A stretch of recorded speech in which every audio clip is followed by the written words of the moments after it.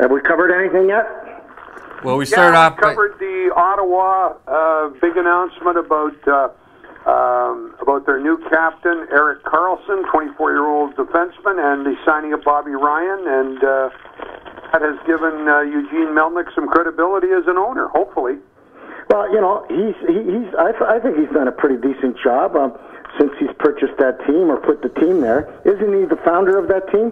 No, no, that team has gone through so many different versions because I did not know that. through ownership. He was the original guy to bring that team to Ottawa. Was You know it- who brought the team to Ottawa? Firestone. Bowie Kuhn. Bowie Kuhn. There, that's some interesting history. Bowie Coon. Kuhn. was the lawyer that Ottawa should never have had a franchise. Never.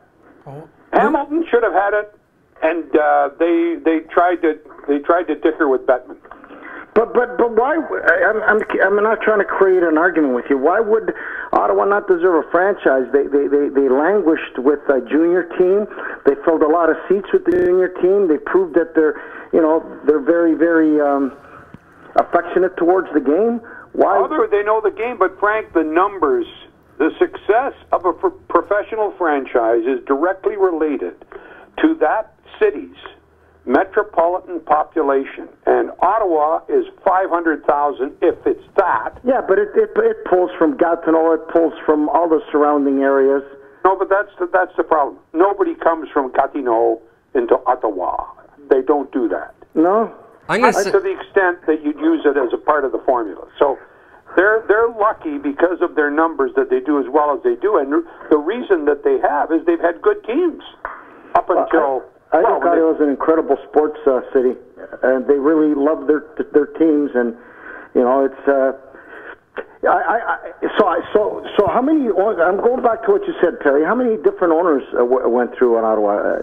I'm going to just loosely suggest it's going to be about anywhere from two to four. I could be wrong about that. You can go through it. But the, the problem to me with Ottawa, insofar as the hockey team is, number one, it's way out in the boonies. Number two, it's a, it's a government town. And there isn't a lot of money to be spent to pay for high tickets like that. They don't sell out because it's one thing to talk about the junior hockey team, it's another thing to talk about the professional hockey team. It's, the, the economies of scale aren't I've anywhere. been to a lot of games uh, at the Senators. They they do very well. They got huge corporate sponsorship. They got uh, the, the the corporate boxes are always full. What, what do you mean? They don't sell out. they don't sell out. If the Leafs are there, they do because uh, five or six thousand pools drive down the 401. And the same as if Montreal is there. Yeah, that's right. So, So, they like, got, I, I- I think, I think uh, the, the, the, there's there's logic in having a franchise there, in my in my modest view.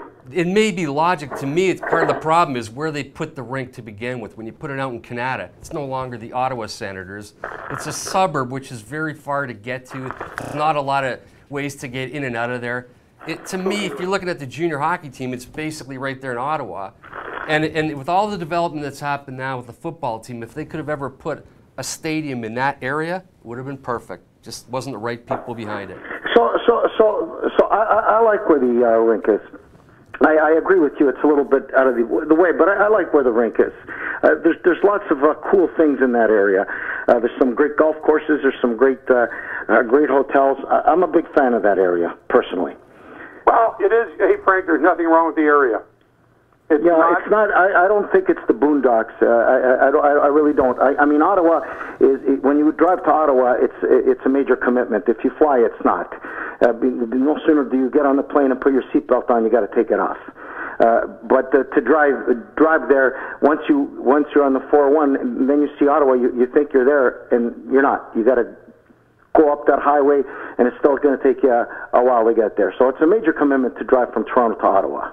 But the thing is, this is Canada, hockey, Ottawa, the nation's capital. It would seem to be so synergistic, so automatic that if they put a hockey team there, that it would sell out. But it, it's it's historically had problems. I'm going to say a lot of it has to do with previous ownership. When it was between Ottawa and Hamilton, Ottawa put on the better kind of bid, not necessarily money wise, but it, I- I was a just- better it- presentation. it- I'm not trying to get the people, of the Hamiltonians, pissed off at me, but I just think if you put a team in Hamilton, you're going to kill the Buffalo uh, franchise because Ah, the I don't Buffalo buy that.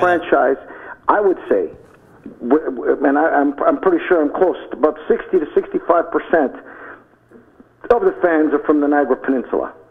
I don't think it's that high, Frank, but it's a big piece of it. I don't think it's. Uh, uh, you know, every time I go, to, and I've been to many Buffalo Sabres games, and I love it because it's a, a great, it's a bargain.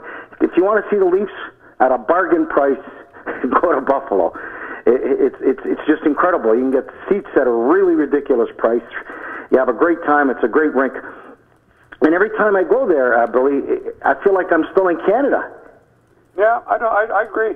Uh, I mean, we when I was with the Leafs, I mean, we we we never played in Buffalo unless the rink was packed, and it was if if and, and uh, the supply and demand was simply related to the number of people that came across the Peace Bridge. And I, I'm just I'm just telling you that you know I know the people in Hamilton have always wanted a team, and and, and you know they've they've held their breath every time uh, uh, Mr. Bettman speaks, uh, where they're they're going to put it. And, and there's a lot of people with big money and, and that would love to put another team there, and I think that it would make financial. It, it makes no sense, no fucking sense to me that in New York. There, uh, there's a there's a professional uh, NHL team within uh, 40 minutes what? Three of them, four of them. If we if we bring that up to an hour and a half, there's five of them, six Yeah. of them. But Washington, Philly, and New Jersey. Yeah, yeah. And, and what ba- baffles my mind, where where we live, breathe one sport, uh, one major sport in Canada, which is hockey. You have one franchise, one franchise. In in in in uh, in, in a, a city that's uh, with the greater GTA, you know, it's it's almost five million people. It makes no sense to me.